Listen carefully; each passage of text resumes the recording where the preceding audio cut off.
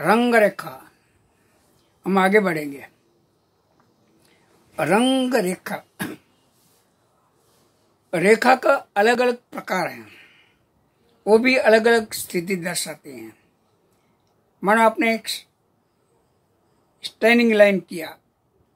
तो एक खड़ी हुई दिखाता है। जो खड़ी हुई है बड़ी बड़ी बिल्डिंग है या कुछ भी है, उसमें जो रेखांकन खड़ी करते हैं स्टील लगता है। स्टील खड़े रहने का एहसास कराता है। तुटक रखा है। तुटक रखा हमको थोड़ी सी स्पीड का एहसास कराता है। झड़प का एहसास कराता है। एक से दूसरी अलग जाती है। स्टील है। और फोर्स दिखाने का कोशिश करता है। वमल रेखा है।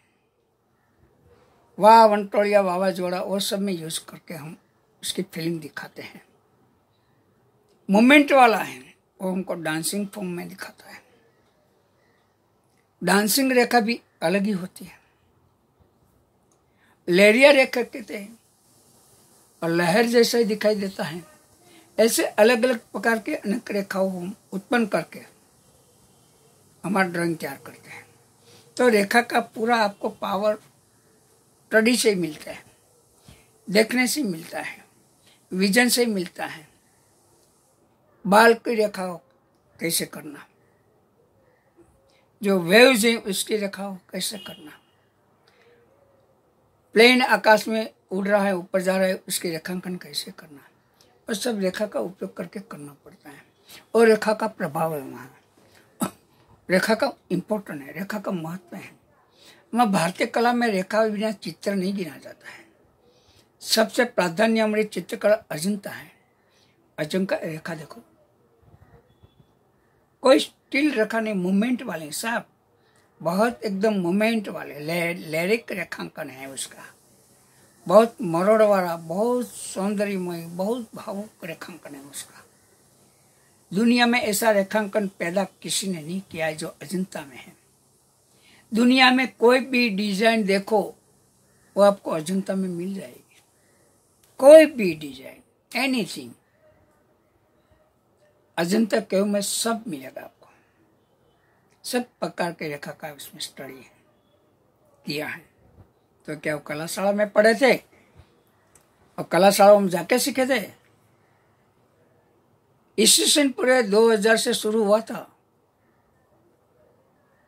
ईस्वी पूर्वे 200 साल पहले शुरू हुआ था 2000 नहीं 2000 200 साल पूर्वे पूर्वे 200 ऐसा इतिहासकार का नोंद है।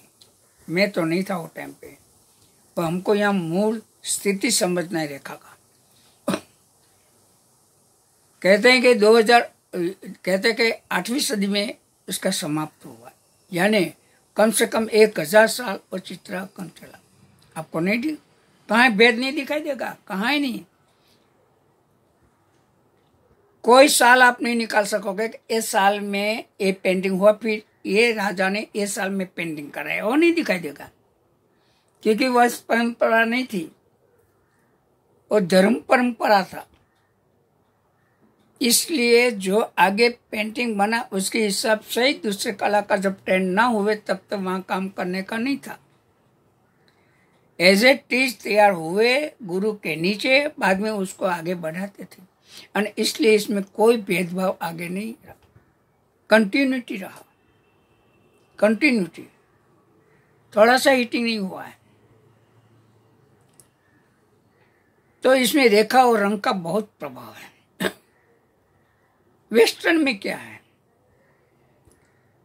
चौदहवीं सदी तक रेखांकन का प्रभाव रहा है यूरोपियन कला में इजिप्ट कला में, जापानीज कला में, चाइनीज़ में तो अभी भी है। हमारी तरह ही, जापान में भी हमारी तरह अभी भी है रेखा का प्रभाव। पर वेस्टर्न से निकल गया। चौदहवीं सदी के बाद रेखा को अंदर लेके ऊपर डायमेंशन करने की कोशिश किया। यानी थ्री जैसा वर्क बनाने का कोशिश किया। यानी सेड एंड लेट परफेक्ट करने का कोशिश किया। एलिमेंट अंदर ज़्यादा आया। यहाँ एलिमेंट इतना ज़्यादा नहीं था। दो तीन एलिमेंट यूज़ करते थे। वहाँ एलिमेंट का प्रभाव बढ़ा। एकदम हाई टोन लाइट टोन चालू हो गया। डार्क टोन से लाइट टोन तक वर्क आ गया। एकदम रियलिस्टिक करने की कोशिश किया। उन्नीसवीं सदी तक चलाओ। अठारहवीं सदी का एंड कहो। उन्नीस में भी हो रहा था, पर अठारह अठारह उसका एंड है, सत्रह, अठारह। तब दोनों लड़ाई चल रही थी। वो जो कर रहे थे, उससे अलग करता था, वो आर्टिस्ट नहीं कहलाता था। उसको कोई ध्यान नहीं देता था। वो जो परंपरा चल रही थी, उसके पर ध्यान देते थे। वो थोड़ा फाइटिंग हो रहा था। कलाकार जो वो करते थे, वो थोड़ा हैरान हो रहे थे वान गोग जैसा गोगा जैसा सेजा जैसा सब। और वो जो कर रहे थे, उसका इम्पोर्टेंट ऐसा ही रहा, ज़्यादा बड़ा, कम नहीं। ऐसा वहाँ रहा, क्योंकि वहाँ वास्तविकवाद का प्रभाव था। हमारे यहाँ आदर्श कला का प्रभाव था। हम पहले से क्रिएटेड हैं। सिंधु वेली संस्कृति दस हज़ार साल चली, कैसे? इतिहास। उसमें जो हमको थोड़ी नमूना मिला, शिल्प का मिला आर्किटेक्ट का मिला, खेती का मिला, सब नमूना मिला, बर्तन का मिला ऑर्नामेंट का मिला, और नृत्य की शिल्प मिला। तो हमारे वहाँ वो टाइम पे शिल्प बनता था, सब धातु पीरियड आ गया था। धातु का समय आ गया लोह पीरियड आ गया था। उस समय का डेवलपमेंट आर्ट में क्या था, वो है मेरे पास। तो हम वो मेमोरी बनाते थे इमेजिनेशन लगा के बनाते थे, काल्पनिक ही बनाते थे। वो बनाते थे यूजेबल बहुत डेकोरेटिव बनाते थे। राजा को पसंद आते थे सिंहासन ऐसा पहले सब बनाते थे हम। पर हम हम भावनाओं के साथ करते थे। हम जैसा आम का पेड़ वैसे पेड़ नहीं बनाते थे। हमारा आर्टिस्ट तो पोर्ट्रेट बनाते थे, देख के इमेजिन लगा के बनाते थे। हम राजा को बिठा नहीं सकते थे। रानी को बिठा नहीं सकते थे। वो पीरियड पीछे से आया, राजा रही वर्मा के टाइम पे। इसके पहले मेमोरी लगा के रथ कला, मुगल कला में जो बादशाह सब दिखाई देता है, वो मेमोरी लगा के कलाकार बनाते थे। तो हमारे यहाँ पहले से मेमोरिज्म है। पहले से हमारा इमेजिनेशन पावर वाला है स्केच पावर वाला है, रेखांकन पावर वाला है। कलर इतना हम टोनल वैल्यू में ले जाते नहीं थे। राजस्थान स्टाइल में देखो कलर ऐसे ही लगा देते थे। रेंडरिंग कम करते थे। हम थ्री नहीं लेते थे टू का ही फिलिंग करते थे। ऐसा हमारा ओरिजिनल आदर्श कला कहते हैं उसको। वास्तविक से पर होके हम काम करते थे। अजंता पूरा ऐसा है। वास्तविकता से पर है। वो वास्तववाद ने, वास्तववादी आर्ट करते थे। हम आदर्श कला करते थे। इतना डिफरेंस है हमारी कला और उसकी कला में। पर आजकल तो सब एक हो गया। वहाँ जो बनता है वही हम बनाने लगे। हमारी दरोदर इतनी बड़ी है उससे आगे है उसको हम भूल गए। हमारी रेखा भूल गए हम कलर भूल गए। वही हमारी कमज़ोरी बन गया।